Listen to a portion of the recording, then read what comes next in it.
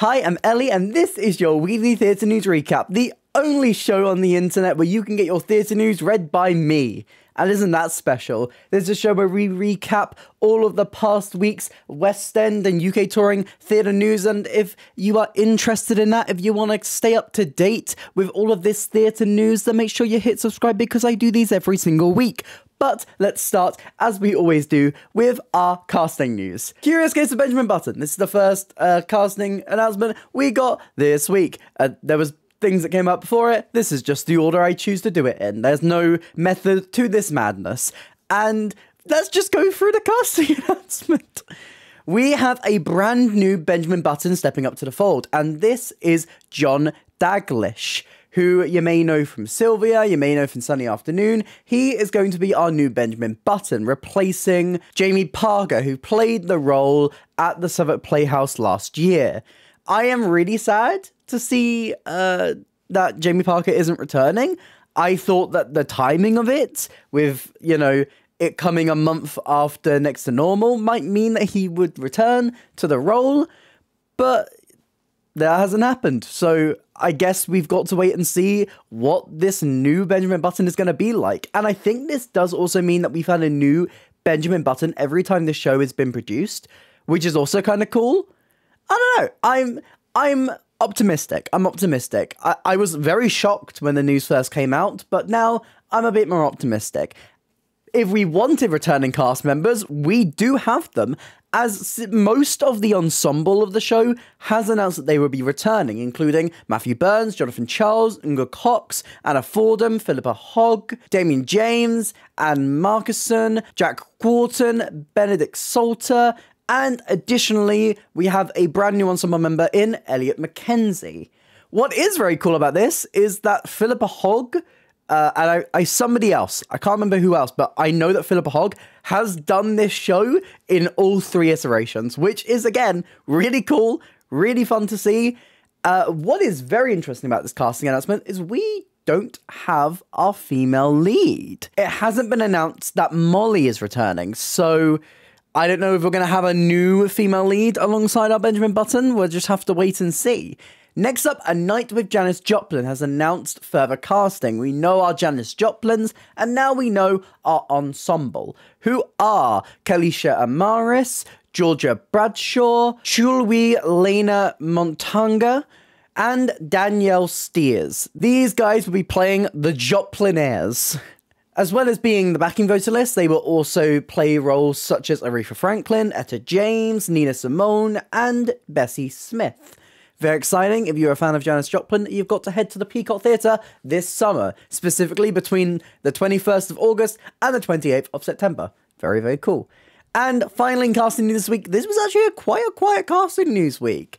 We, the day after I posted my video, we got the full cast announcement of The Devil Wears Prada. We know our leads, we have a couple more uh, supporting characters here, and a full ensemble to dive into. So, Joining the previously announced cast will be James Darch as journalist Christian, with Rhys Whitfield joining as Andy's long term boyfriend Nate. We also have the full ensemble, there's a lot of names here, and they will be in the description down below this is very cool. I, I love the way that they've done the casting announcement for Devil Wears Prada. I love these videos that they've done introducing each of their leads. The actual photo shoot they did was like a cover of a magazine, which is genius.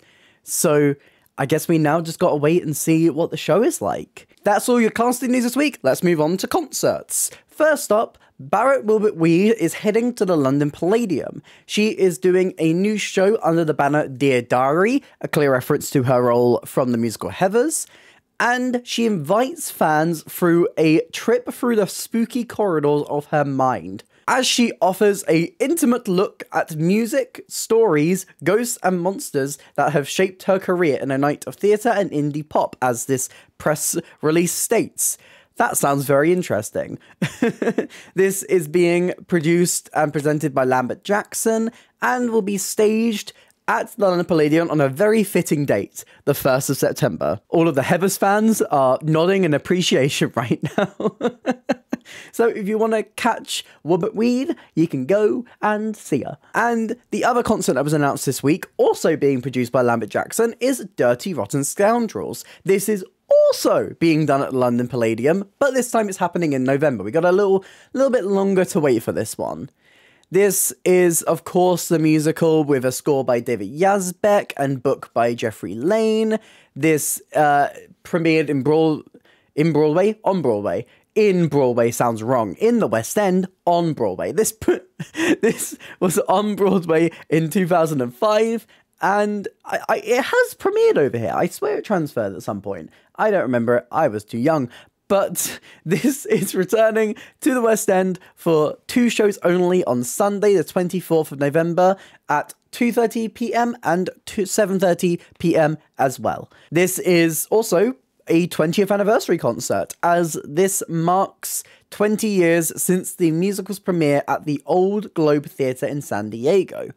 Very cool. This is also starring some very cool theatre names, including Ramin Karimloo as Freddie Benson and Hadley Fraser as Lawrence Jameson. They will be joined by icon legend the moment Carly Mercedes Dyer as Christine, Janie Dee, who is also an icon legend the moment, as Muriel, and Rufus Hound as Inspector Andre. And also, just tucked to the bottom, I didn't even see this one, Lauren Drew. That's really cool. As Jolene. That's quite a cool cast. Oh, okay. Okay, I'm into it. I'm here for it. So if you want to go catch Dirty Rotten Scoundrels, you can do it. Uh, you got two chances. Two chances on the same day. 24th of November. Go and do it. Hi, big theatre announcement. Uh, this this is breaking news on What's on Stage. A hit revue, Sondheim on Sondheim, James Lapine's revue celebrating composer and lyricist Stephen Sondheim, is going to be performed at the Alexandra Palace Theatre later this year. This uh, is literally breaking on What's on Stage right now. This is why you are seeing the What's on Stage article. Thank you to What's on Stage for this fantastic journalism. this is a celebration of Stephen Sondheim's music, uh, features songs from West Side Story, Company's Follies, Into the Woods, and it has a fantastic cast who are Fra Fee, Georgina Onuorah, Jenna Russell, and Scarlett Strallen, with further casting to be announced. And if they match, if they match that cast, oh boy, this is going to be good. This is going to be playing at this theatre on Sunday, the 20th of October, and Monday, the 21st of October. So if you want to catch some sun time, as I definitely do, you can go and book your tickets for this on Monday, the 10th of June at 10 a.m. Woohoo! This is probably the fastest I've put a news story into one of these videos. Let's go. Anyway, back to past me. And now we can move on to our miscellaneous news of the week. First off, really quickly, Present Laughter. Did, did you like it when it was at the Old Vic? Did you like it when it was filmed? Did you miss it when it was filmed? Well, guess what? You can see it again in cinemas. Yes, the Andrew Scott led production of Present Laughter is returning to cinemas on the 18th of July through National Theatre Live. So if you would like to see some National Theatre theatre, you can go to your cinema. It's probably doing a performance near you. Maybe. I don't know. That's not guaranteed, but I'm sure you can look it up. a really cool uh, miscellaneous announcement this week was a new album called Schwartz Songs. This is going to feature loads of different music from Stephen Schwartz's catalogue and features a wide variety of West End talent, including Marisha Wallace, Trevor Dion Nicholas, Samantha Barks, Jamie Muscato, Lucy Jones, Louise Dearman, Kerry Ellis, Rachel Tucker, Billy Luke Nevers, John Owen Jones, Oliver Thompson, Rob Houchen, Heba El Sheikh, Alice Fern, Rachel John, Peter Joback, Jamie Lambert, Jordan Luke Gage, and Emma Kingston, which is a chunky list. And it has been announced that Ellis, Fern, Jones, and Tucker, who have all been Elphaba at one point or another, will feature in a new version of Defying Gravity, which will be released as a single on the 21st of June 2024 and then the whole album will be released as a CD and a digital release as well. That was phrased weirdly on the 28th of June, and will also be dropping on double vinyl on the 9th of August. This is really cool. This is so cool. I love Stephen Schwartz. I love Schwartz's music, and honestly, with the talent on that album, oh, oh, serve. Can't wait. And finally, in miscellaneous news this week, we have some more details for Slave Play. Now, Slave Play previously announced that it will be doing a weekly pay what you can lottery. And they have announced the details for this. So if you are interested in going to see Slave Play and you want to get a good deal on it, here is how you can do that. Starting on the 26th of June 2024, 30 tickets will be released for each performance the following week at £1 and above. So this is a pay what you can. So you can pay a pound, you can pay £20, you essentially pay what you can, which is a great scheme to allow theatre to be even more accessible. Those interested in this scheme can sign up via the show's website. There is also going to be day seating as well. There's 10 seats released on the morning of each performance at £20 each these being limited to a maximum of two per person. So many great schemes here. Really great to see them make this show even more accessible. We love to see it. And finally, we can move on to transfers and new productions. This has been quite a breezy theatre week. I feel like I've done quite well recording this video, and now I've said that, I'm gonna screw something up. First up, we got a really cool announcement this week, and that is that Thursday Murder Club, Richard Osman's best-selling book, will be getting an adaptation. We have no details for this. We know it's coming to the stage. When? Where? Don't ask me, they haven't told me. I'm not psychic, I can't tell you that, but I can tell you that they are aiming to open this in 2025, and it is being worked on in collaboration with Osman and Tom Basden, who you may know for working on the smash hit Accidental Death of an Anarchist, which I heard nothing but good things about. So immediately I'm like, yes, I am here for it. This is really cool. A great adaptation. I hope so. Fingers crossed. Next up, we got a really cool community project to celebrate 40 years of Les Mis. I'm just going to read this press release because it kind of says what it does in the tin. Cameron Mackintosh and MTI have announced a UK wide amateur theatre project called Let the People Sing. This initiative runs from March to August 2025 and features 11 community wide productions across the country. This is the first time that amateur groups in the UK have been invited to do the full show of Les Mis while it continues its successful run in London's West End. The selected cities that will be performing are Belfast, Birmingham, Brighton, Bristol, there's a lot of B's, uh, Glasgow, Leeds, Liverpool, Nottingham, Norwich, Cornwall, and Swansea. Each of the 11 amateur societies will act as lead producers in their respective venues, collaborating with other local groups to produce these community wide productions and they will receive support and guidance from West End and international associate creative teams to develop their own original non replica productions. This is a really cool thing. If you are anywhere near these areas and you want to get involved in amateur theatre, this is probably one of the biggest opportunities that has been presented for amateur theatre in a long time. This is really, really cool to see. It's a great way to celebrate and a really different way to celebrate. It's 40 years of Les Mis, so yeah, let's go. Can't wait for that. I'll have to try and travel. I'm quite far from all of these. Maybe Norwich. Norwich is probably closest to me. Next up, we have our first season of the new artistic director of the Kiln Theatre, Amit Sharma. This season spans from September to next year. I think May next year. So we've got a pretty sizable season to talk about here. Launching the season from the 19th of September to the 26th of October will be Pins and Needles, directed by Sharma himself. This piece explores the politics around vaccines through the microcosm of a handful of human experiences and stories.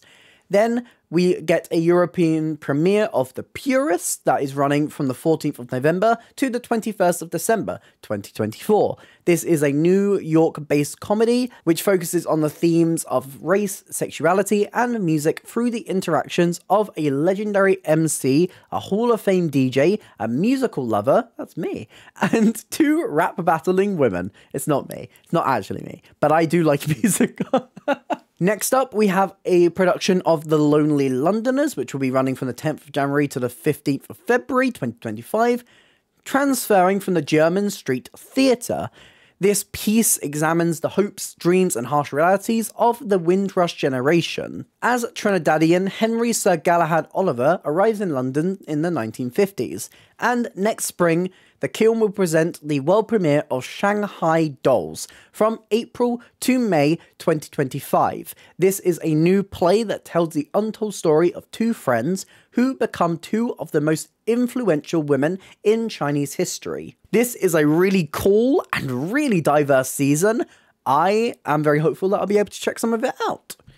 Next up, we have a workshop to talk about. A new musical called We Aren't Kids Anymore has announced performers for their workshop production. I've put it in here, even though this is technically a casting announcement, because I haven't spoken about this yet. So, this is a autobiographical musical. It is based on a concept album that was released in 2020 and explores themes of self discovery and complexities with human life. And the cast includes Rashani Abbey, Johnny Fiore, Chelsea Halfpenny, Josh St. Clair, and Archie Atch Wiley. This is being done in a closed workshop production, so if you want to catch this musical, I guess you've got to just keep your ear out. If they're workshopping it, that should hopefully spell a future life for this musical. Next up, a new musical that you can check out is The Fabulous. This is heading to the London stage, specifically the Charing Cross Theatre, from the 12th of August to the 21st September 2024.